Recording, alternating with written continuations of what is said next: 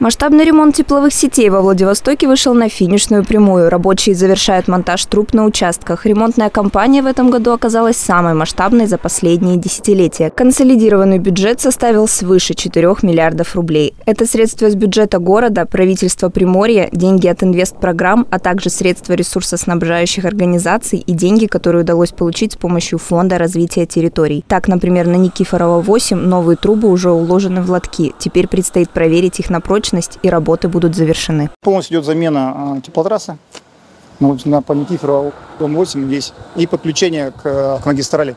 Сейчас они уже, те места, которые уже проверены, они их закрыли лотки и делают гидроизоляцию.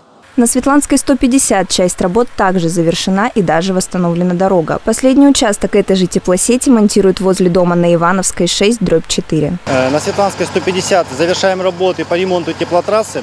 Э, диаметр 150, мы поменяли 150 метров. Там фактически уже финальные стыки производят. Часть участка уже даже прошли гидравлические испытания. То есть в целом ребята завершают работу по монтажу трубопровода и к 15 октября уже будут готовы при необходимости э, подать по сетям э, теплоснабжения. Э, восстановление благоустройства, соответственно, будет проведено также в этом году, но уже э, после э, проведения работ по монтажу трубопровода, то есть для обеспечения как раз своевременного начала отопительного сезона при необходимости.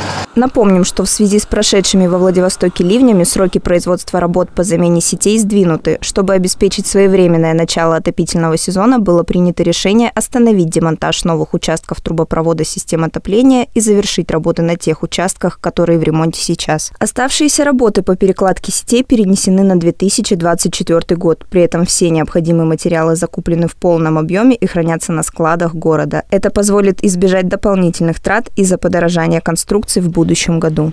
Евгения Брыкина, Елизавета Драгомирова. Новости на восьмом.